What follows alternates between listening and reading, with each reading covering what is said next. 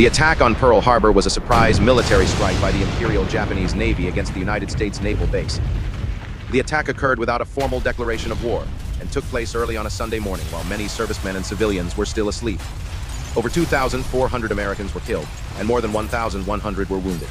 The Japanese attack damaged or destroyed eight battleships, including the USS Arizona, which remains at the bottom of the harbor as a memorial.